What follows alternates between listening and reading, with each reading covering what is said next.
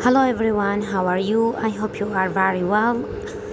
I'm your English teacher, Miss Seja. Today we have Unit 2 Lesson 4. It names Do you want an orange?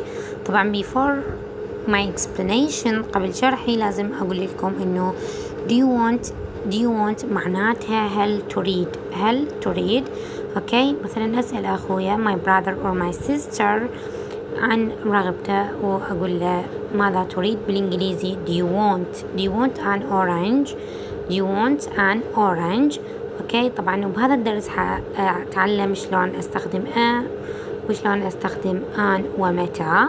Listen اسمع an say a or an. وقل a or an. طبعا a or an هي أدوات نكرة. أستخدمها قبل الأسماء. تمام؟ أستخدمها وين؟ قبل الاسم. okay حبيباتي طبعا ال a أستخدمها قبل الاسم okay؟ وقبل الكلمات اللي تبدأ بحرف صحيح. حروف الصحيحة كل الحروف اللي باللغة الإنجليزية ما عدا حروف العلة الخمسة اللي هي O A E I U O E A I U هاي الحروف العلة. تمام؟ It's a lemon. It's a lemon. It's a lemon. It's a lemon. إذا هنا استخدمت لأن lemon تبدأ بحرف صحيح وليس حرف علة. It's an orange. It's an orange. It's an orange. إنها برتقالة. It's an orange. طبعا هنا استخدمت آن لأن عندي كلمة orange تبدأ بحرف أو اللي هو من الحروف العلة. Watermelon watermelon it's a watermelon. قلت آ لأنه الكلمة تبدأ بحرف صحيح. It's an ice cream. It's an ice cream. طبعا قلت an ice cream لأنه الآيس كريم تبدأ بحرف علة اللي هو ال a. It's a pizza. It's a pizza. قلت a لأنه عندي بيزا تبدأ بحرف صحيح اللي هو ال P It's a cake. It's a cake. It's a cake. إنها كعكة. I say قلت a cake لأنه عندي كلمة كيك تبدأ بحرف C حرف صحيح.